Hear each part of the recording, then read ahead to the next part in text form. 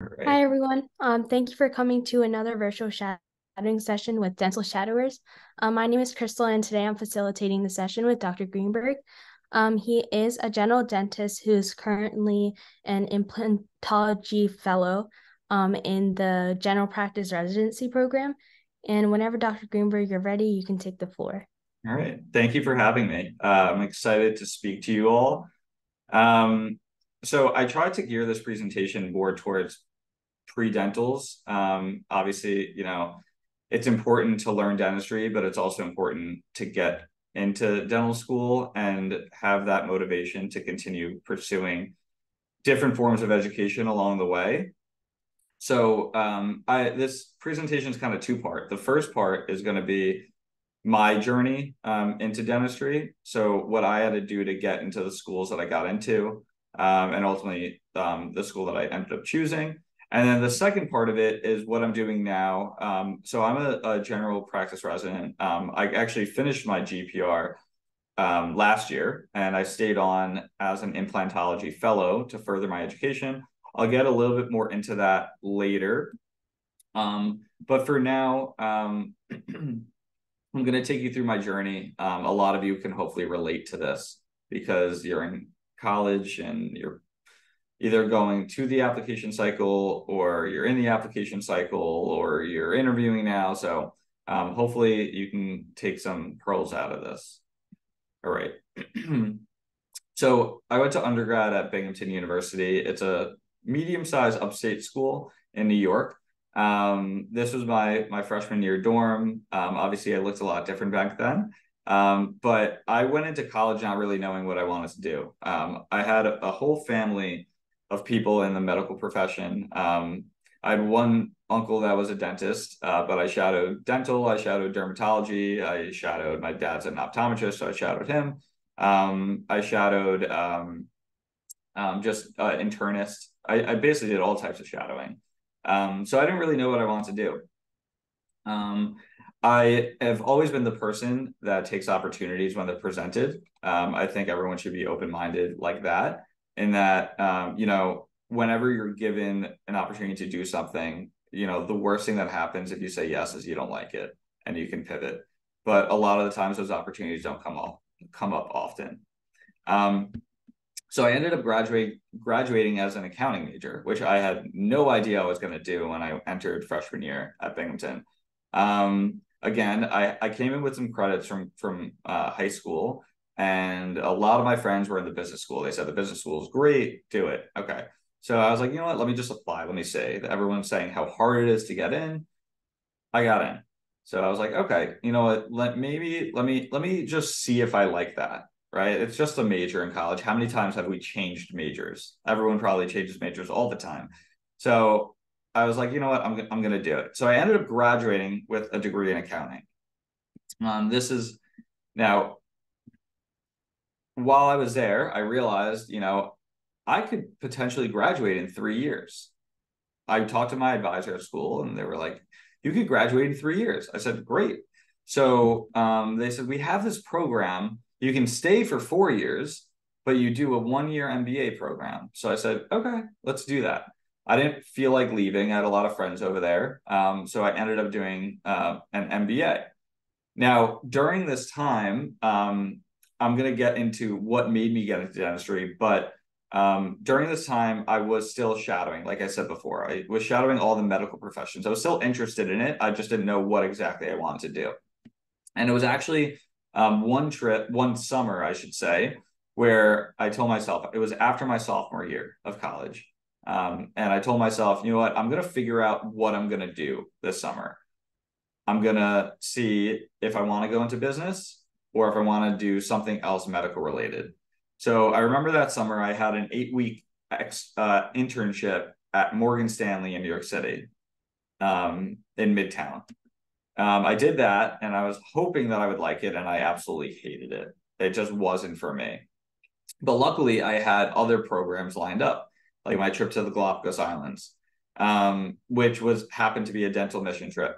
So um, I went on that trip and I loved it. So being in that summer, it was cool to kind of see that I loved something so much and hated something so much. So I knew which path I wanted to go down. Now, that was after my sophomore year. So as you can see, I did continue my degrees. I did get an MBA, but that was mostly because I realized through shadowing and talking to people and seeing what people have been doing that a business degree is really important or, or a business knowledge is really important for dentistry um, because you're going to be out there in your own practice and just like any business your practice could lose money and then you can't do your job so everyone I spoke to said it's really important to know business, whatever you do. So I was already in the position to get a degree. So I was like, you know what? I'm just going to keep it. So um, I ended up uh, applying to nine schools. Uh, I'm sorry, 10 schools. I ended up getting into uh, nine of them, um, uh, interviews to nine of them. And then I got into, into six schools after that. So the interviews started coming in. Um, I'm not showing this to to kind of boast about it. I'm showing this because what I'm trying to explain is like everything that I've done and all these milestones that I became really excited about. It's all just a result of hard work and talking to people and being in the right right spot at the right time. Um, you know, when the interviews came in again, like was it lucky? I like in my opinion, no, because everything was planned. I knew exactly what I was doing and when I was doing it. When I was taking a class and studying for a test, I was not studying to just pass the class. I was studying to get an A in the class. Um, there's a difference between the two, right? Prerequisites in your classes, uh, prerequisites for dental school. I don't like that term because you're required to take it before you go to dental school. But there are plenty of people that take these classes that don't get into dental school, and that's because of uh, grades, right? So even though in college you might be able to use that course as a prereq to get to the next course, that grade might not be sufficient for for dental school. So I went in knowing that every every science class that I took, I was going to try to do the best I can. So I ultimately obviously chose uh, Stony Brook. So that's where I went for my my dental school education. So I was there for four years. Um, and you know, every every kind of moment in my life, um, you feel like there's something else beyond it, right? So the the best analogy I can give you is like imagine you were you were like in fifth grade and you think, you know, I'm the I'm the top of the grade, like I'm the top of the class, right? You're the big guy in the school. But then you go to middle school and then you realize, wow, I'm actually like the small person. Like I don't really know many people. I don't know many. I don't. I don't know anyone. Um, you know, I I I feel like I'm small. And then you get to eighth grade and you're like, ah, I'm the big guy again in school. Like I know everything. And then you get to and then you got to high school, right, and so on and so forth. So I felt like in college, like I was I was at the top, right, and then you get to dental school and you realize you're really not at the top. You're at the bottom. So the reason why I'm bringing this up is because at any moment in your life, you're going to feel like you're not at the very best. And there's a lot of times where you will feel like you're at the very, at your very best. So it's important to be humble and understand where you're at in your process and don't compare yourself to others because it's very easy to get lost in the process. Um, so again, white coat ceremony, like an amazing time. But I didn't foresee that, okay, I'm like about to start seeing patients, right? A whole new responsibility. And then you see patients and you realize how hard it is to talk to patients. Um, and then, you know, as a D3, this is when we started basically going to clinic every day. I thought, again, I was at the top, right? And then as a fourth year, you realize how much you really don't know and how much you really need to learn. So, um, you know, then you're kind of at the bottom and then you finish your fourth year and then you're at the top again. So, um, you know, it, it's always important to just to stay humble during every every part of your process, um, and be grateful for where you're at. Um, so I did a little research at at Stony Brook. I traveled to San Diego. I presented at the Academy of Osseointegration. Again, a conference that I was invited to attend. I was I had a research opportunity. I did absolutely no research in undergrad. Negative research. I just wasn't something that interested me. Um, and then when I got to Stony Brook, I was approached by one of my faculty. He's like, I think you would do great with this topic. It's on implants. So I said, okay, like let's see, I'll I'll try it. I end up doing an entire research project and presenting at San Diego in San Diego at the Academy of Osseointegration. Fast forward because um, Crystal, you kind of already um, explained how I'm an implant fellow. I'm placing implants all the time now, and I'm working. So all of this stuff kind of comes full circle, right? And it comes back to my original idea, which is, you know, take any opportunity that you're given because the worst that happens is you could not like it and you stop it. So I took an opportunity to do research in implant. I realized I liked it, and now I'm doing an implant fellowship program. All right. And then finally graduated, and it's amazing. And then, you know, now I'm in GPR, and you realize, you know, when you join GPR, you realize, okay, I'm I'm really at the bottom again, right? Like you're learning way like more new things. Um, so it's a fun roller coaster to be on. okay. So this is me in, in general practice residency. I was um, molding a plate for a orbital floor fracture, which I never thought I would do in the operating room.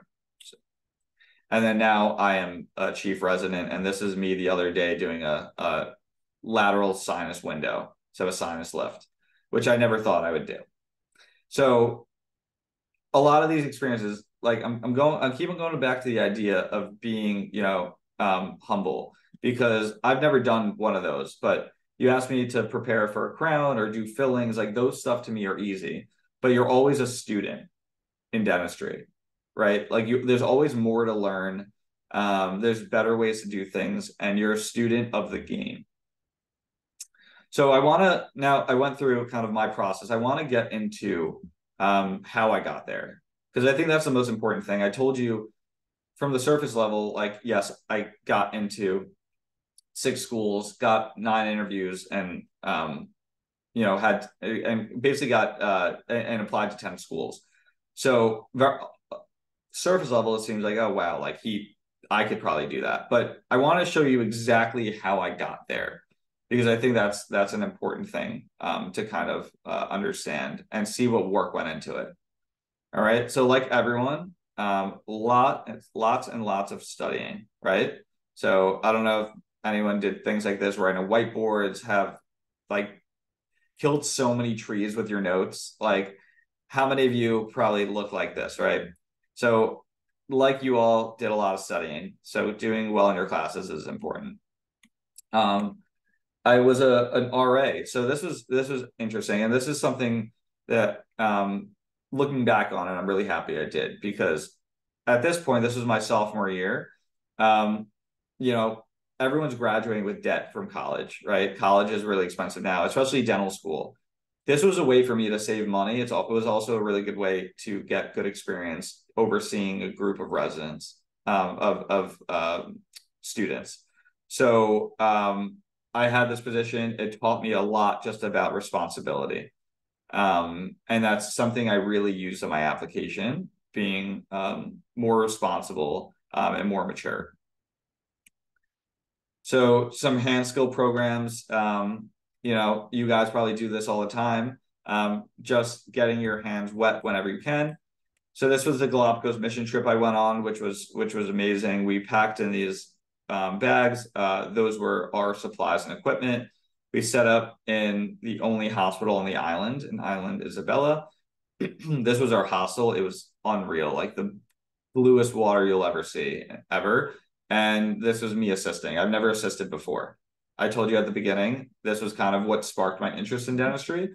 Um, so I had no experience. I barely had any shadowing at this point. And they just threw me in it, and I loved every second of it. I was like one of the last ones to stay every single day. Um, so what I'm trying to gather from from all, what I'm trying to kind of stimulate you guys from all of this is any opportunity you're given, just take because you don't know if you're going to like it. Okay.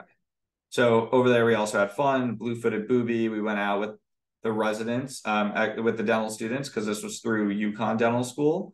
We went out to um, an ice cream shop. So this is something that actually I used on applications to this day something I talked about in my dental school application. Um, we were treating um, a bunch of patients. We probably treated like over 200 patients in the few days that we were there. Um, and one of the kids, he was about eight years old, he had caries on all the teeth. So we did some restos on him, some extractions um, during the couple days we were there.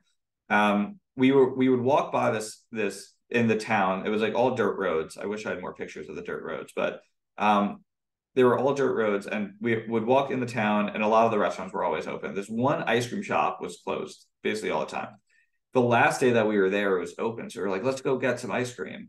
It was a family.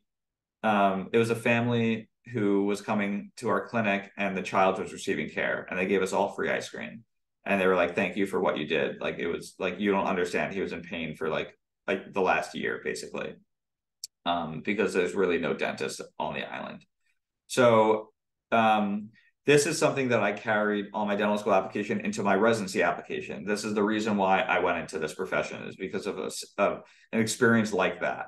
Um, so that is my why of why I'm doing this. And also, guys, feel free if you want, you can interrupt me at any point. I know we're going to do questions at the end, but if something is pressing, you can interrupt me. So, like with everyone, did the pre-dental society, um, did some soap carving. Um, I had some leadership positions there. We went to local elementary schools to teach children about oral hygiene. That was also an amazing thing because they're innocent children who want to just learn. So it was fun. Um, did a pre-dental week at Stony Brook. So I actually did this as a pre-dental student. That's me on the right. And then as a dental student, I was a mentor. So I had a mentee over here, and then I was the mentor over here. So that was a really cool experience. Um, just seeing it come full circles, giving back, right? Don't forget from where you've been. I always give this analogy, you know, I golf a lot. Um, I'm not great, I'm fine, but um, I've gotten a lot better over the last five years. Um, so whenever I go on a course and I see someone really struggling, there's a lot of people out there that will yell at them and curse at them and say you're holding everyone up. But I was there at one point. Like I was a bad golfer one time. So I always try to remember that I was in their shoes at one point. Um, so just remember that moving moving forward. Okay. I also did have fun. Um, I want you guys to know that I wasn't someone who just like studied all the time and did pre-dental stuff. Um, this was for my Case Western interview. I went the night before. Um, sorry if you heard the story before you follow me, but um, I went the night before um, to stay in the hotel. My interview was next morning. Um, I had a friend who said, you know, the Yankees, I'm not even a Yankees fan, but they're like, you know, the Yankees are playing at the Cleveland Indians Stadium, um, who are now the Cleveland Guardians, but uh, do you want to go? Like, I know you're going to Cleveland. Like, I'll come with you. Let's go. And at first, I was like, you know what? Like, I might interview the next morning. Like, I want to just relax, prepare for it. And then I was like, you know what? Screw it. Let's just go to the game and like enjoy it. So I ended up going to the game. We ended up getting on TV. The next morning, I go to my interview and I sit down. Actually, before I sit down, my interviewer shakes my hand and he's like, Hey, so how's your time in Cleveland? I see you're from New York. I was like, It's great. Went to the Yankee game last night. So it was cool to see them being from New York. And he's like, I was there too. Turns out we talked about that the entire the entire interview. He was sitting two rows, two sections over from me. We saw the same person get thrown out. We saw the same game. He happened to be from the Bronx, big Yankee fan. I was not a Yankee fan, so I told him that. So it was it was funny. But um always, you know, try to be it's not all about studying. It's not all, all about school, right? Like dentistry is different from medicine in a lot of ways. One being that you know, we have really unique conversations and build unique relationships with patients. So, you know, people don't like robots. So try to try to, you know, keep that in mind as well. Um, this was another interview. I play soccer. So um, we were in the finals um, of, a, of a match. I lived in a house with a bunch of kids. Um, I knew the minute I got home, there was no studying. So I would stay in the library late. Um, some more friends, some of my really good friends. Um, so in dental school, I talk a lot about like being involved in clubs and organizations and you know um, being fun that type of stuff um, in dental school is no different right like you want to get into residency so um, you can do different things you be a part of different organizations i talked about continuously learning um, so with my business background we started a basically a business club um, at dental in dental school so we did a bunch of different events went to lobby day. I'm not going to bore you with this. ASDA District 2 meeting. I continued soccer. So we, we had a soccer team. I also played volleyball and I did a bunch of continuing education, whether it's like ph- photography classes or digital smile design, if you know Chris Coachman. All right. And then again, I did research, which I showed you that before. But the most important thing is mentorship, right? People who have done it before you can show you the ropes. That's the important thing. So um, these are a bunch of my mentors that I luckily had um, over the last um, four years of dental school and into residency. All right. So I'm going to go into the day in the life of a chief resident. Um, so in many states, I don't know where everyone's from, but I'm from New York. New York is one of the only two states in America that you need to do a general practice residency or an AGD or some sort of residency in order to practice. So it's very easy if you live in any other state to just get out of dental school and start practicing. So when I was in dental school, I was, I was a little bummed out that I needed to do a residency. I was like, I want to just get out and start working, but I couldn't be more happy to do a residency. And if you are a fan of dental nachos, they are everyone's from all over the country and they are very um, keen in doing residencies as well. And I'll give you reasons why. The first reason is that you're going to see things that you've never seen before, and you don't want to see it for the first time on a patient that you're treating that's paying you directly. Um, second thing is mentorship, right? So you're going to be working with doctors one on one that are there specifically to help you. They're not there to make money. They're not there to see their own patients. They're there to make sure that you expand your dental education um, by doing it every day. If you to if you were to work in a private practice, a private practice has multiple docs in it. If you if the owner doc that hires you hires you, they want you to do the job. They don't want to sit next to you and hold your hand while you're doing the job. So a lot of the times, if you go straight into private practice, you're doing either a lot of continue continuing education, or your first year is basically like a residency where you're learning a lot. However, that's on patients that is are your patients in your practice. So your reputation starts immediately after you graduate dental school. So if you're messing up on a patient, um, let's say you're doing some crown and bridge and you're not getting good margins, you have to redo the crown three times. Patients don't like when you have to redo a crown three times. Um, but let's say you're in a residency and you take that first impression and the doctor says, you know what, I think you can do a little better. You take a new one, you put it in the first time. There are different ways to go about it. There's a hundred different ways to learn. You have to realize what kind of works with you.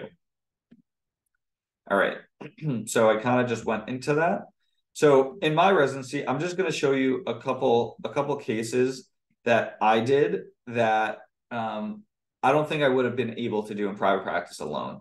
I'm not going to lie. I think that they were pretty far beyond my scope of practice. But then again, I was able to work with prosthodontists. I was able to work, I'm going to go through it, endodontist. Um, I was able to work with implantologists. I was able to work with oral surgeons, right? You work with all these people to be able to develop your own repertoire of uh, education. So this patient came to me um, and she looked like this. Um, this is actually a little after, but she had a bunch of grossly carious teeth. We took out a couple, two of the front teeth. She was missing two already. And she wants teeth. She's 87 years old. These are uh, previous crowns. These, I wish I had occlusal shots. They're, the nerve is basically exposed. All right. So I end up um, taking off those four crowns. So you can see they're old PFM crowns. Um, took them off. I re-prepared them, got rid of all the caries, did the root canals on both of these.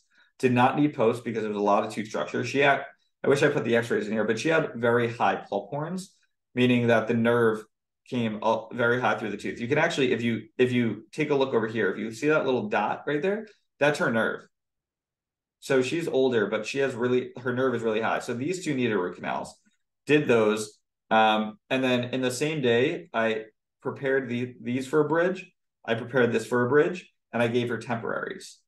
And um, what I used for this is a, a lab fabricated temporary, meaning that the lab makes a temporary. So what they'll do is before I do touch the patient at all, they're going to send me uh, something called a PMMA temporary, which is uh, a very strong acrylic temporary. Um, and they will grossly, um, I guess, they'll guess where the preparation will be. So I usually tell them about one millimeter take off just so I have a shell. Um, so they did that for the top and the bottom. And so after three and a half hours, this is what she looked like leaving. Um, I didn't finish relining the bottom. I have other pictures, but um, this is what she looks like after um, three hours. I don't think I would be able to do this if it wasn't for residency. I really don't. I think that this in three hours, I got a lot of guidance, luckily. Um, but this is something that's really great. So this hack actually was like the third or fourth case that I'm doing similar to this. So at this point, I really knew what to do. Um, I I was communicating with the lab. I had little help with this. But for your first or second one that you do, you really need to be you you need your hand to be held because they're really complicated stuff. All right. So this is what she looked like after leaving my office. And her and she loved it. Loved it. I mean, what she had before versus this, everything is uniform. She has lower teeth. So what we're going to plan on doing, just so that everyone's aware, um, we're going to be making her a partial denture for the back. So the first thing I had to increase her bite because um, what she came, she looked like this. She wasn't biting down, but you can see all the wear on the front of the teeth. So she was over closed.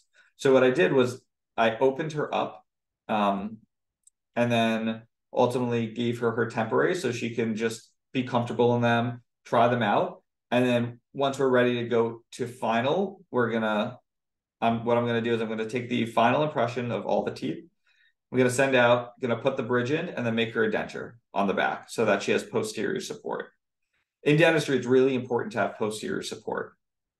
Um, think of um, think of what happens when you're closing down, right? Like a nutcracker, right? Most pressure is in the back. So imagine you have nothing in the back. You're going to be you're you're going to be clenching down in the front, and then that's probably why she had those wear facets in the front because she kept on just grinding down her teeth. All right. Next case. Um, this patient came to me actually in a temporary. this was the temporary that he came in and he wanted teeth. Temporary is not great, but it was based off of what he had in the past. He's wearing a denture on the bottom the bottom's eventually going to be an overdenture. So we're going to put two implants on the bottom, um, probably in the the lateral incisor positions right here, potentially in the canine positions, just to just to hold it in. Um, it's good if you can get four in there, if you can afford it. And this is the final that he had. This is a porcelain bridge in the front. So he had about six teeth here, a lot of rotated teeth, a lot of bad dentistry and this is how he left. I don't know if I would be able to do this if I didn't do a general practice residency. This is something that makes me excited. All right. So I mentioned to you earlier about root canals as well. So root canals are something you do in dental school, but not nearly enough for whatever reason. So endodontists do a lot of complicated root canals. That's what they're known for. You go to their office, they can do a root canal probably in 45 minutes. So every Wednesday, a, uh, an, an endodontist, a root canal specialist comes in to specifically work with us. They sit with you and they're there to teach you. So these are some of the root canals that I did. I did lower molar, I did upper molar, um, another lower molar. This one has four canals. You can see this one has only two. So there's a lot of different anatomy, which you learn. Um, and then this was a couple, I just did the number uh, six over here, but these were, were also done. So I'm going to show you a really, a really cool case because I'm coming back to this idea of you're always going to be learning, right? You don't, dentistry sometimes is really isolating, especially if you're in your own office and you're by yourself. So it's good to communicate with other uh, specialists. So this was a really difficult case I did.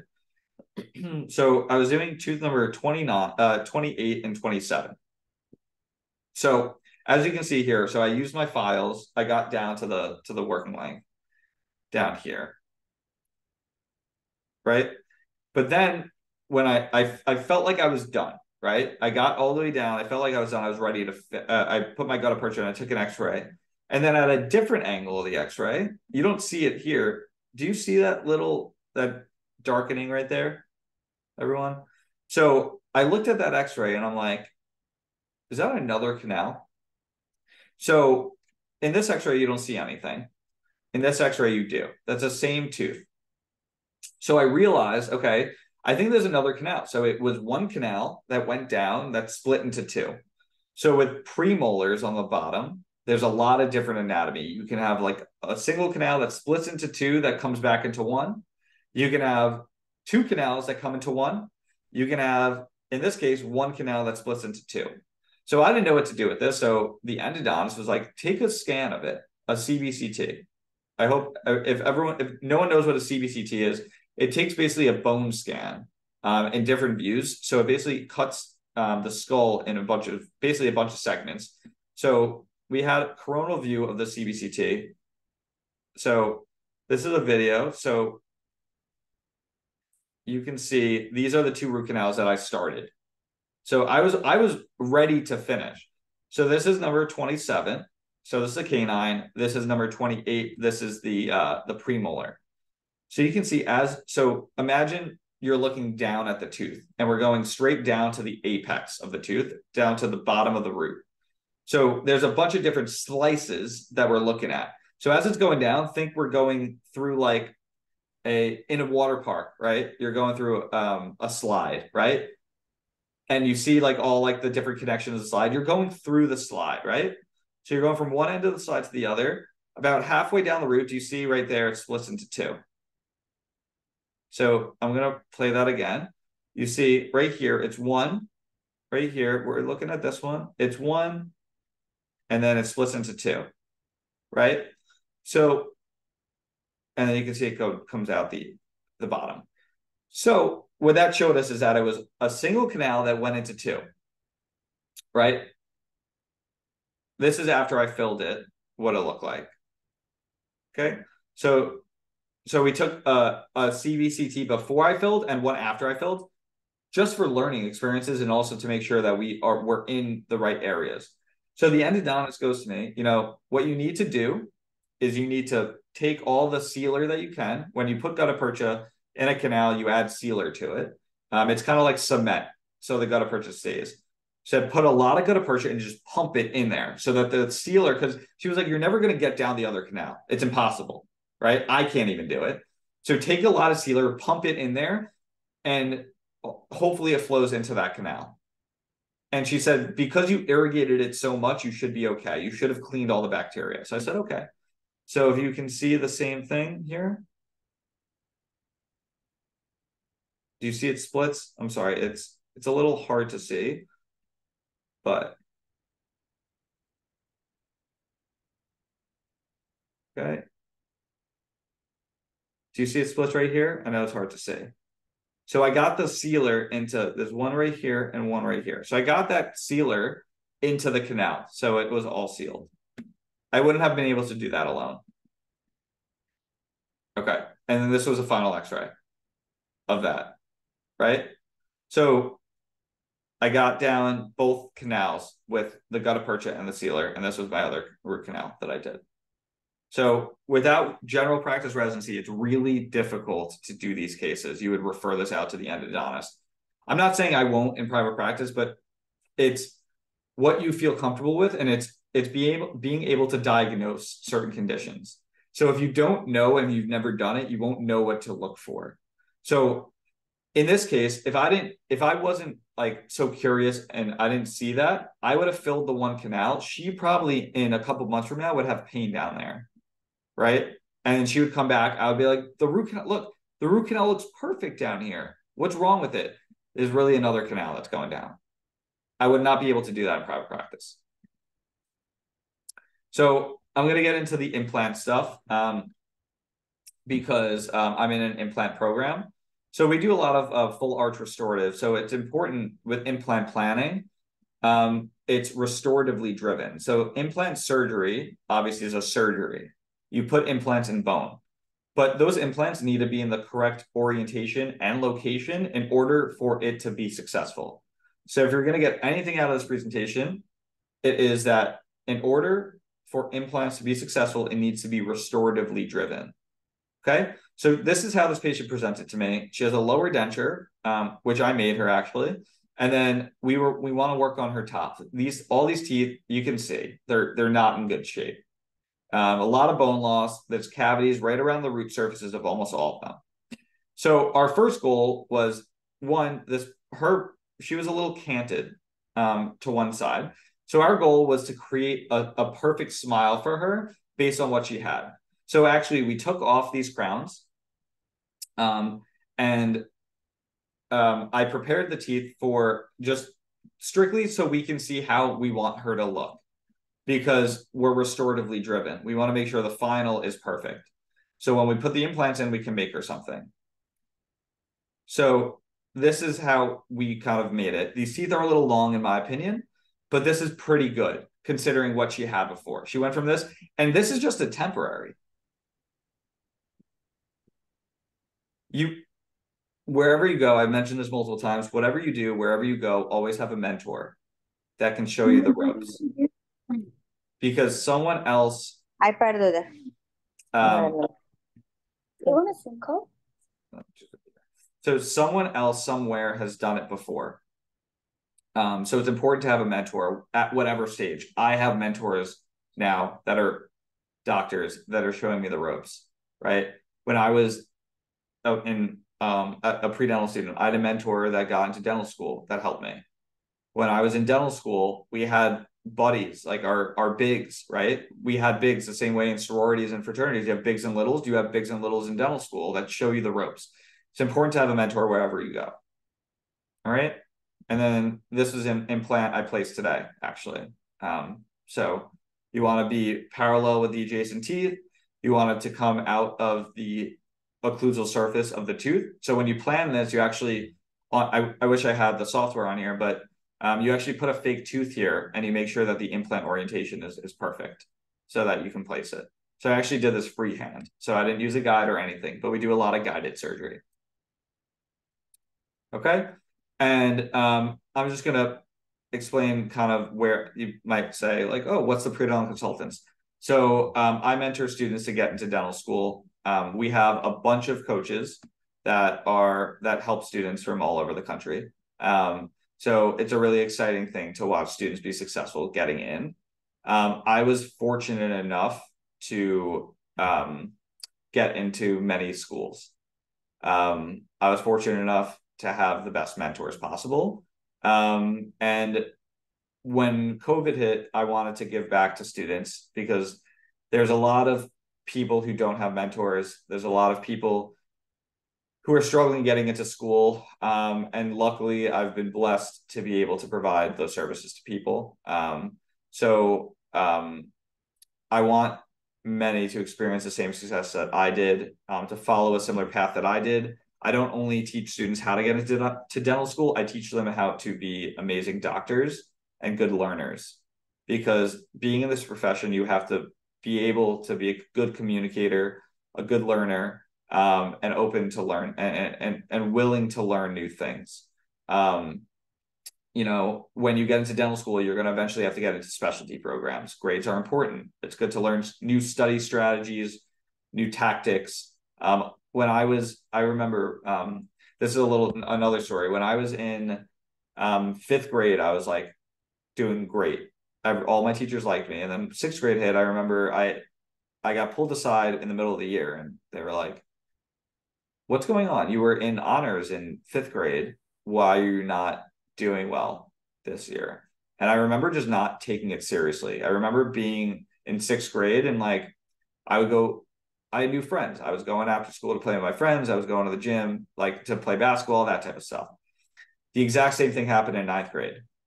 I, I picked it up by eighth grade, doing well, did well in the regents exams, all like the, the exams that you need to take, did well in them. And then ninth grade hit and the exact same thing happened. Made new friends, just didn't care about school.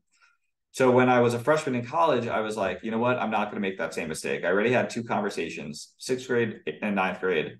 When I get into um, undergrad, I'm not going to have that issue. So I really buckled down and I made sure grades were important. I made sure I knew how to study. I made sure that I was doing well in my classes. I was putting all of that first. Um, and I still did have a social life as you got that. And then I did the same exact thing my freshman, my first year of dental school. Did the same thing in GPR. It's important to start off strong. It's more important to end off stronger. Um, so I have just information about the about the program here. These are some of the schools that we we have um, coaches at. Um, we've gotten over 100 students into different dental schools. My goal is to have a dental student at every single school in the country so that all, our students can reach out to them and have kind of like an inside scoop into the programs. We have um, our website with just stuff. If you're interested, you can contact me. Um, and this is kind of teaching how to get into dental school. This is um, a program, a tracker software that is coming out hopefully very shortly um, within the next month. Um, and it's basically you can track your GPAs, courses, experiences, that that type of stuff. So when you get to the application, it's basically pretty seamless. Like you don't have to, you can basically copy and paste it. Um, the experience section, it's it's basically identical to what you see on the application. Um, and we also, you know, we we do these sessions similar to how I'm doing this one. We do our own um, occasionally, which is fun. And then um, so it's really important. It, it's really expensive to apply to dental school. So just make sure you budget for it. Um, a lot of people don't really get that applying to dental school is expensive. So uh, I didn't really understand it. That's why I'm saying it because uh, the application, they say the application's 295 for the first one, an extra 95 each additional application you send through, but then they don't tell you about every school wants their fair cut. So every school sends you an email saying you actually have to pay an extra $300 to us for your application. So if you apply to 20 schools, you can do the math about how much money that is. So definitely budget for that. Um, it's expensive if you take a gap year because that's a year of income that you're not generating. It's expensive if you have to uh, reapply. So just make note of that. I always tell my students it's important to apply once and apply really strong and make sure you do really well. Don't take anything lightly. This is a really important thing. Um, when you get the interview, the interview is what will get you into the school. Um, the application will get you an interview, but they need to like you in the interview in order for you to get a spot. Um, so don't take the interview lightly. Just like I said before, I gave you a little snippet of like one of my interviews. Be a person, don't be a robot, be um, amicable, be friendly, you know, just be yourself. All right. Okay, this is just kind of some of that, just some quick math on that. So you you can look at, you know, I applied to so average number of dental schools applied to, you can be spending, you know, five thousand dollars on applications. It's it's it's really expensive. So make sure you budget for that. And then if you if you were interested in possibly joining, you know, just message me.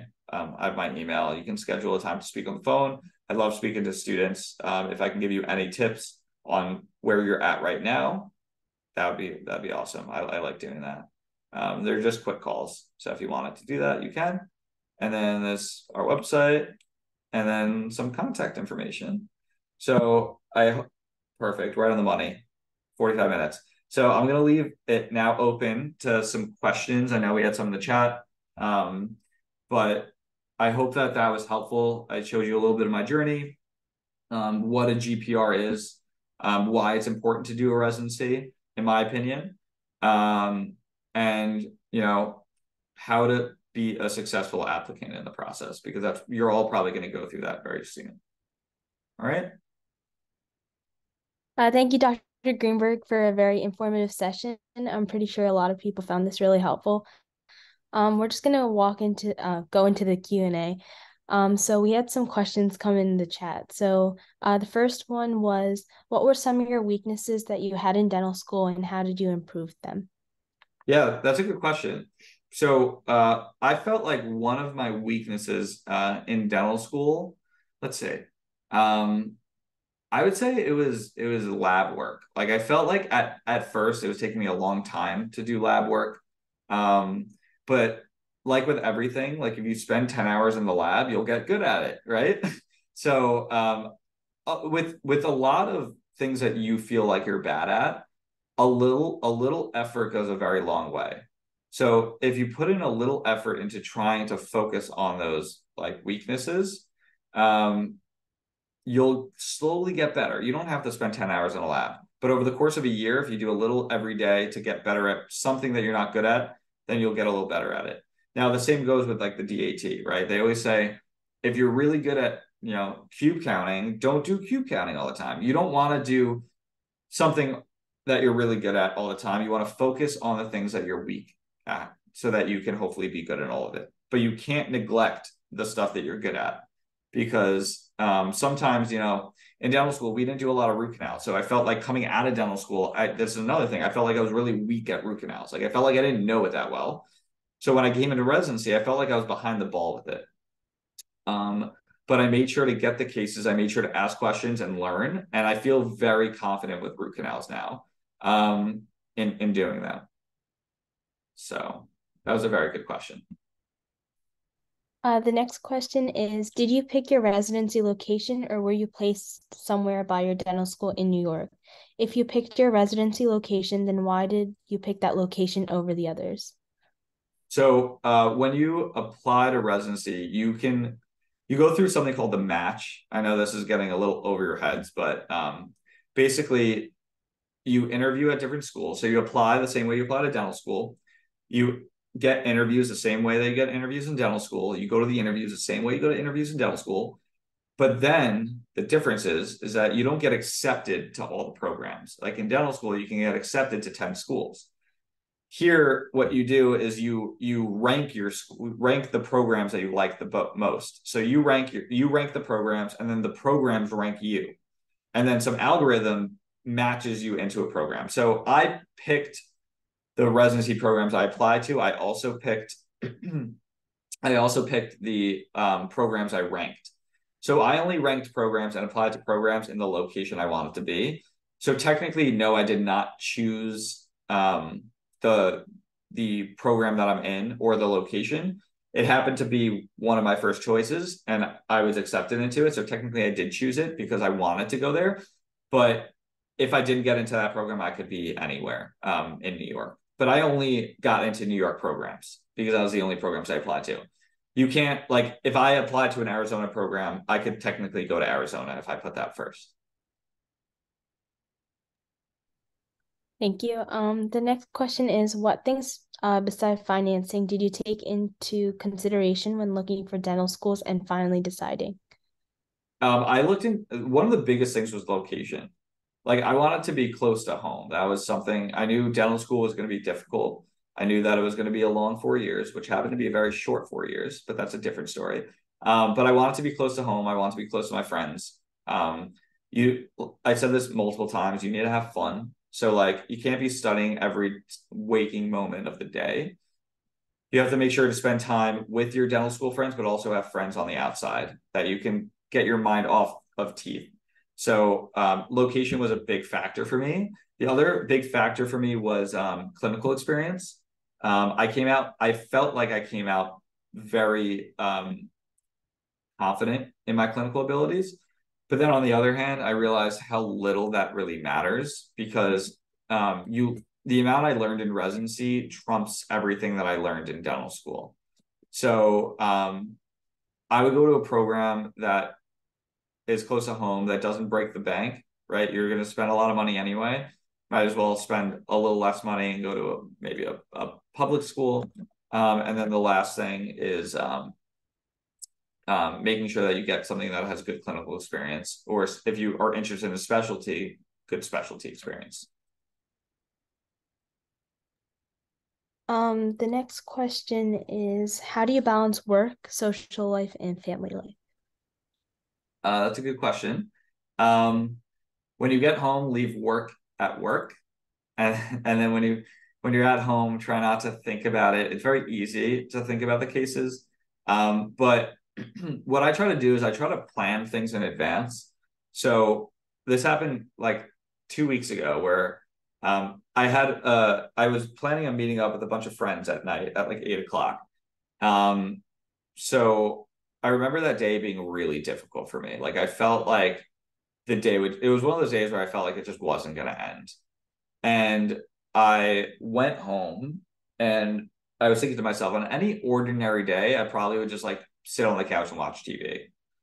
right? And like avoid my friends. I like don't feel like socializing, that type of stuff. But that day, because I had a plan already, I felt obligated to go. And when I went, I felt like my mind was completely off dentistry. My day, the the bad day that I had completely went away. So something that I've been trying to do since then is plan things. So for instance, I went to the US Open last night, right? Again, probably a long day of dentistry, but then it's fun to look forward to something to do. So if you plan things in advance and you don't do things day of, like if I said, if I came home and I'm like, everyone's going to the US Open, should I go? It's very easy for me to say no. But if I already had tickets, I'm like, I have to go. And then you go and you realize how fun it is and that you're getting your mind off stuff. Um, in terms of family life, I, I always try to see my family. I, I see my brother all the time and my parents. I, I try to see them at least once or twice a week, either for dinner or FaceTime or that. And I talk to my mom every morning on the way to work. So um, it's you know a combination of things. Also, if you're really interested in dentistry and you want to take it to the next level, start listening to dental podcasts. I have a podcast, which is really awesome. Um, but I listen to something called Shared Practices, Dentrepreneur. There's a lot of good podcasts you can listen to. It's just there's like the the pre-dental podcast I used to listen to as a pre-dental student. So there's some good podcasts. Um, it gets you motivated. It makes you want to go through this. Um, so I, I would recommend doing that. Uh, the next question is um, what is some advice you have if you decide to take a gap year? Like how do you utilize your time? Yeah, that's a good question too. So, um, with a gap year, I I personally love gap years.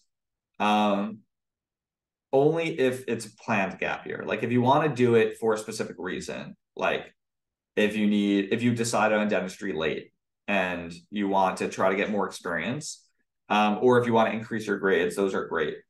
Uh, a poor gap year, I would say, is one where you apply to dental school and you apply too late and you just don't get in.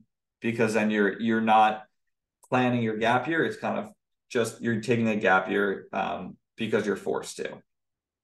Um, so during a gap year it's important to get dental experience. So either shadowing I, I would say working if you can assist at a practice. A lot of states you don't need to be a, a registered uh, assistant or a certified assistant um, but if you can become one that would be great um, so assisting experience. The next thing um, is just focusing on uh, leadership. So doing a lot of community service and being active in the community. I would say a poor use of a gap year is strictly just studying for the DAT. Because of course it's important, but they want to see that you're doing things. So if you're going to study for the study for the DAT over the course of the year, make sure you're getting some shadowing in, make sure you're getting some assisting in, make sure you're involved in different organizations, maybe dental organizations. Going on a mission trip would be amazing during that time. Like you have the time to do it. I would recommend anyone, if you have the funds and the time, go on a mission trip. It will change your life. Um, and you can, like me, use it with every single application that you go through.